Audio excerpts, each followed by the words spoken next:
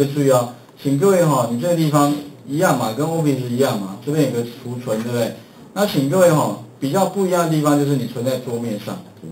桌面上呢，它这边的话，你给它一个名称哈，给它一个档名，比如说这边的话就是什么第四、第二章或什么的。那我习惯在前面加上一个日期，比如说今天的时间是十五号，好了哈，哦，一零零二年三月十五号，好了，OK，然后那个 save 储存，那后面看你要不要加一个名称啊，比如说是什么，呃，基这个这个这个是什么，呃，第这个是像第第二章哈，或者第二篇第二章好哈。反正你给他一个或者入门题也可以哈，OK 按储存，储存之后呢，请你把那个 K 的务必一定要关掉了，你都让它先画起来，然后一定要 K 的不一不一定整个关掉，你可以有两个叉叉嘛，你可以关里面这个叉叉就好了，关里面这个叉叉至少要关里面叉叉或者整个关掉也可以的哈，然后再把它缩小，你可以看到这边不是有个 K 对不对？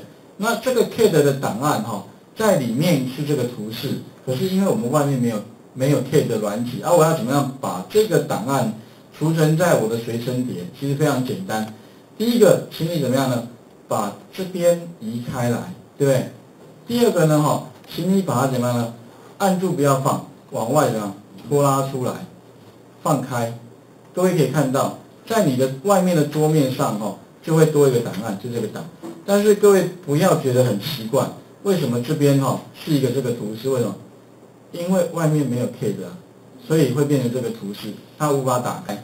那如果说将来你到了你呃家里，或者是说你下一次来上课的话，那假设哈，因为下一次来上课这边理论上是不会有这个档，所以我把它删掉。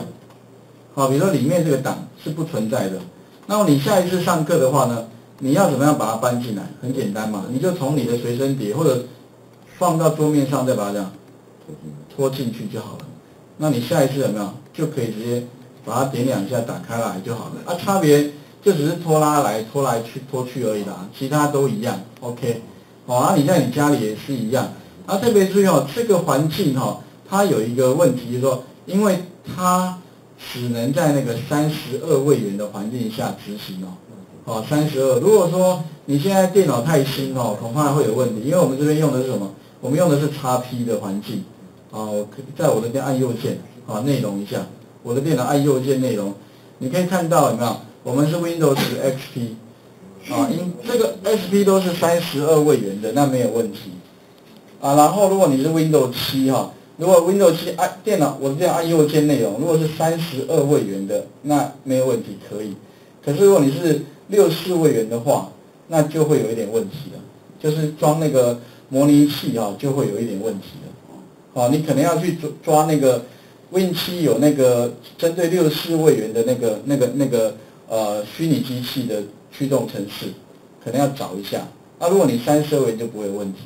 哦，顺便跟各位讲一下，不然你回去怕你买的电脑太新了，像 Win8 就会有问题了。Windows 八就装虚拟机器，好像目前没有支援，反而 Win7 有支援。好，OK，这里的话哈，请各位试试看好了，就是我刚刚讲的。你要储存的时候，特别说，一定要先把它关掉，或者整个关掉都可以。然后存在你桌面上，哈，再把它存起来。那下一次也试试看，哈，存出来之后再删掉，重新放进来看看，O 不 OK？哈，好，画面先还给各位。因为如果你下一次，你如果把这个虚拟机哈关掉之后的话，里面的档案哈就会呃还原掉了，就会没有了，哈，所以你今天做的这个哈就会不见哈。